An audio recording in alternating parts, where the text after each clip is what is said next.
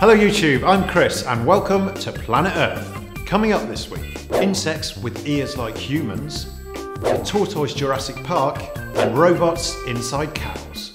Shall we juice?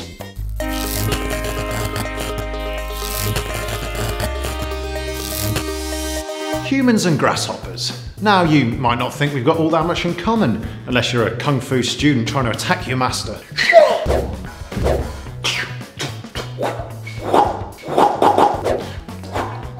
Sorry.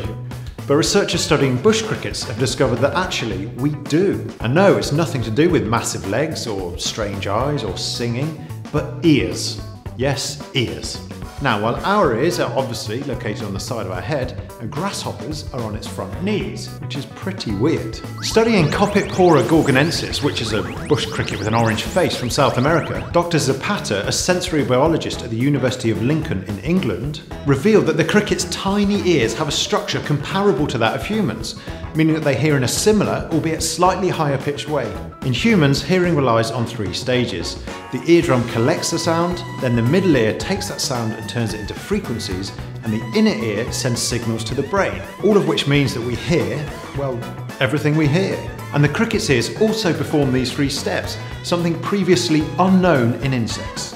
The team are now looking into the ears of other cricket species, hoping that this similar system for sound detection could help engineers to develop microsensors which could be used in hearing aids for people. Next up, giant tortoises.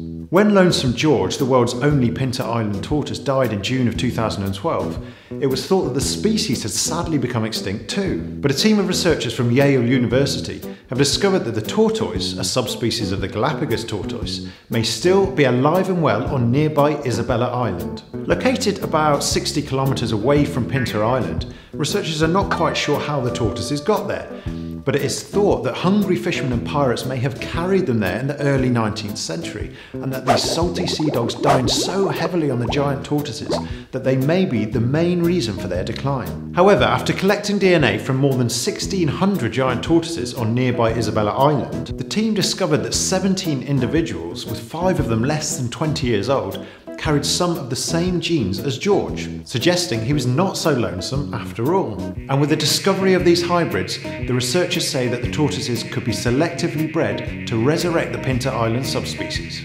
But it's a process that could take up to 150 years.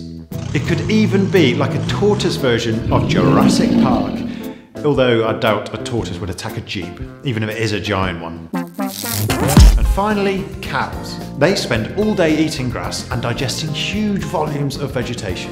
And as they say, what goes in must come out. And worldwide, domestic cattle are responsible for around 30% of all human related methane emissions. And as all that gas helps to heat up the already warming atmosphere, eco conscious researchers from the Australian Sustainable Agriculture Flagship Project are using robots to help out. The scientists want to install tiny robots into the digestive tracts of cows that will stay inside them for weeks. Causing them no harm at all, the robots will monitor the amount of methane that the cows produce. And with the data that the robots beam back to Cowpat HQ, the researchers hope to be able to find out which foods generate the most gas, allowing scientists to create more eco-friendly diets for cows that they hope will result in far less methane being released into the atmosphere by those gaseous bovines.